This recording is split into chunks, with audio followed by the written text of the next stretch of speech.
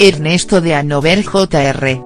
Asesta el golpe definitivo en la guerra contra su padre. El distanciamiento del todavía marido de Carolina de Mónaco y su primogénito se incrementó cuando el joven cedió el histórico castillo familiar de Marienburg al Estado germano por un euro.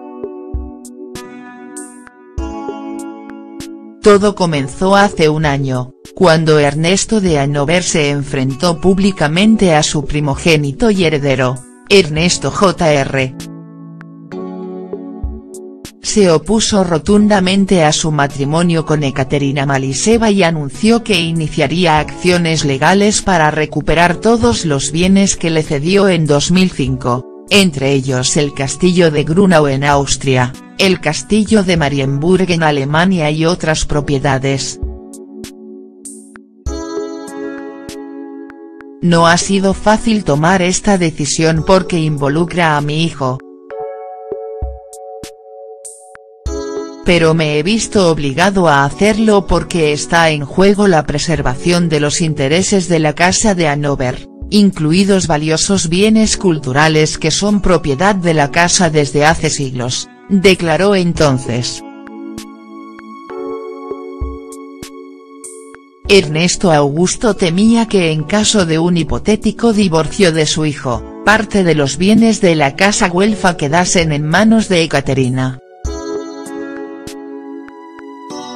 pero además se sintió destronado en vida, pues en 2012 le destituyeron como presidente de la Fundación Herzog von Cumberland para poner en frente a Ernesto Jr. Tradición familiar.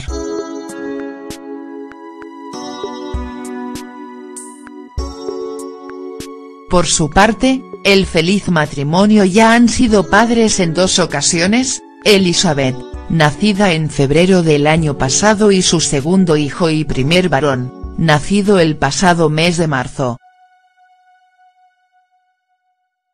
Todos los tabloides apostaban por que el pequeño sería bautizado como Ernesto Augusto, pues es tradición en su familiar llamar así a los primogénitos varones. Sin embargo, la pareja ha decidido cortar con esta tradición que lleva en pie desde 1845 y ha llamado al pequeño Augusto. No se sabe si esto es un acto de rebeldía que aviva el fuego en la guerra padre-hijo, pero lo que está claro es que es bastante probable que esta decisión haya sentado como un jarro de agua fría a Ernesto de Hanover. Un euro.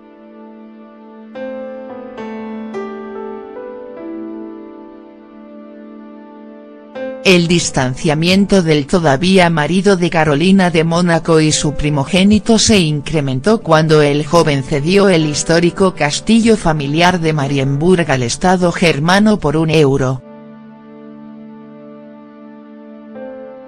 Una operación que su padre consiguió paralizar en cuanto se enteró alegando que era ilegal.